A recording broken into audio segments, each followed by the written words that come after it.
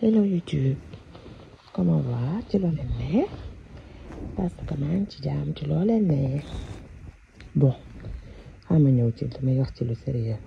xaama sérieux tuuti en fait dama doon wax ci kaawu Ndella Madior Diouf Ndella nag dama bëgg na ngeen dégloo ma ak xel bañ ma dégloo xol boroom xel yi laay waxal waxuma ak boroom xëtër xëtër yi Ndella Madior Diouf di am ni yëpp Ndella pour man victime la ci xam li tax ma ne leen Ndella victime la ci parce que nag tey dañu nekk ci benn dëkk boo xamante ne dañu ne pays de droit la mais nekkul lu la neex rek nga def ko tey man est-ce que am naa droit jël sama kër ubbi fa orphelinat di accueillir Bibi comme pas possible alors que j'ai pas les moyens ndee la ci boppam chaque fois ngeen gis ko muy live mu ne noonu yi kaay leen ngeen jàppale ñu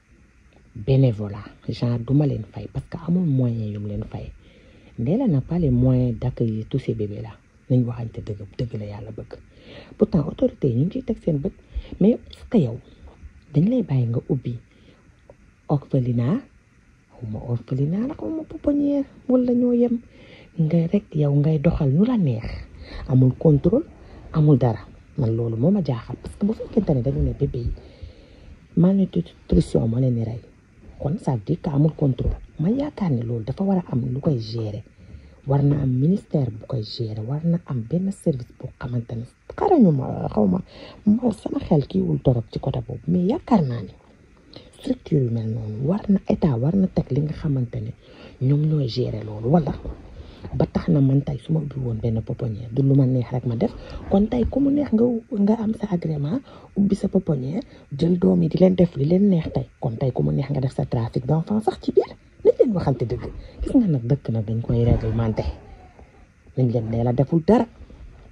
ndee la deful dara dañ koo contrôlé wul tey ndee la bu bu nekkoon ne ñi war a liggéey teg nañ ko ci yoon ñëw nañu xool ndee la ndee la benn bébé du fa sonn benn bébé du fa xiif benn bébé du fa tilim placard yooyu ñu wane loolu warul nekk ci wetu bébé non nañ leen waxante dëgg ba pare ndee la chaque jour ñu jël ay bébé amul moyen yum leen tudd yéen bébé yi ngeen gis nii yëpp macha allah ndee la attan na lii yow financièrement xam ngeen ne lii attanu ko et au lieu mu arrêté muy continuer di jëlaat ay bébé noonu la ne waxante dëgg benn instant pour man ndee la deful dara de ndee la bëgg-bëggam rek lay demee peut-être ak yéeneem peut-être ak yéeneem ak bëgg-bëggam xawma lan moo nekk ci suuf man duma fi toog di ko accuser naan da ci jëg ut xaalis ak lii ak léegi li parce que dee ak sa bàmmeel xawma lu mu ci jublu mën na am xolam rek moo ko ci yóbbu lool te tamit elle a raison elle a besoin d'argent à un moment donné bébé yi xaalis moo leen di gérer bébé xaalis moo koy yore xale yi ay nit lañ yéen a ngi dégg kon nag dee la victime la ci biir dama dégg ñu ne elle est en garde à vue je sais pas si c'est vrai ou pas parce que foofu moom des fois dafay dégg ay affaires yoo xamante ne fekk dara du ci dëgg mais si elle est en garde à vue bàyyi leen dem ba mu ñibbi ah boo leen ko garde à vue yéen a ko tooñ deful dara dafa mel ni sa doom def benn affaire boo xamante ne yow yaa ko waroon jubbanti jubbanti woo ko nga seetaan ko ba mu mel noonu mu am ba fu mu yem nga bëgg ni danga koy corriger fekk c'est trop tard xoolal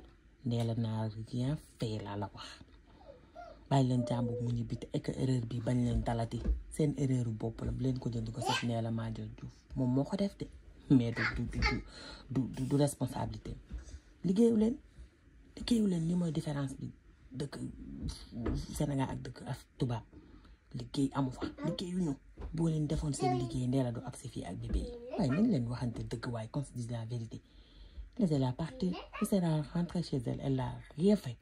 Elle n'a rien fait. yéen a deful seen liggéey nañ leen waxante dëgg autorité yi liggéeyu leen boo leen liggéeyoon ne yaa ak si fii waaye yow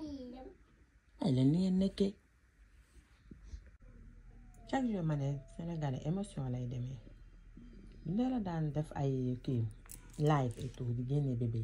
yi di dañuy encouragé mais il faut nga xool ginnaaw bi benn jour dafa am image bu ma choqué bu ma ci gis ñu togg sombi muy naan sombi fajar ndeysaan xale di lekk mais y avait deux noonu suma juumul ak moom mais ñoom ñett mënuñu may xale yu toll noonu ñu lekk nga gis koo xam ne moom day forcé lekk bi sax nga xam ne ñeneen ñi dina peut-être sax nga fàtte koo xamante ne bi nga ko joxee ñaari kudd ci nga ko fàtte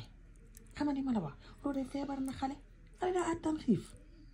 munoo ko xam munoo xam ku lekk ak ku lekkul munu à la fin doo xam kii moo suur kii moo suur kii ñaata la lekk kii ñaata la lekkul xale yi boo leen gisee si som bi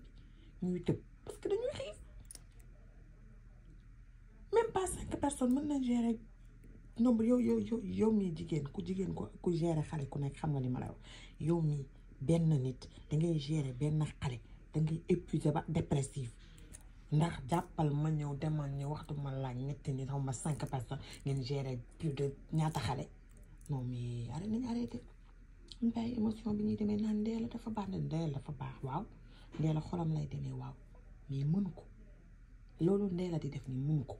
bu jëloon quelques bébés sax am fu mu limité kii bi nga ne waaw waaye chaque jour bébé yi gën a ñëw waaye yow eh dama ne la milliardaire sax boo ko nekkee yenn charge yi bu yàggee dootoo ko àttanati nañ leen waxante dëgg nag nañ leen waxante dëgg Ndella bu ko bëggee tamit mënu ko. Je vais résumer en français en fait. C'est une dame qui s'appelle Ndella Madior Diouf qui a ouvert une, un orphelinat chez elle, dans sa maison même. Et elle accueille tous les jours des bébés. On ne sait même pas le nombre. Du coup, elle ne peut pas les gérer financièrement. Et là, il y a problème. On a, fait, on a eu des vidéos. Des vidéos ont fuité montrant des bébés mal nourris, des bébés malades et tout. Et hier soir, la police avait fait une descente chez elle. Apparemment, les gens ont dit qu'elle est en garde à vue, mais je, ne pense pas, je ne sais pas. En tout cas, la police était chez elle hier avec des médecins et je ne sais pas quoi. Mais pour moi, elle n'a rien fait. Il n'y a pas eu de contrôle. On ne peut pas avoir son agrément et puis son, je ne sais pas, pouponnière comme ça chez toi. Tu ouvres ça, tu accueilles plus de 100 bébés. Tous les jours, les bébés arrivent alors que tu n'as pas les moyens. Qui n'a pas travail En tout cas, ce n'est pas elle c'est pas elle la fautive. Hein. C'est pas elle la fautive. C'est les autorités qui n'ont pas travaillé.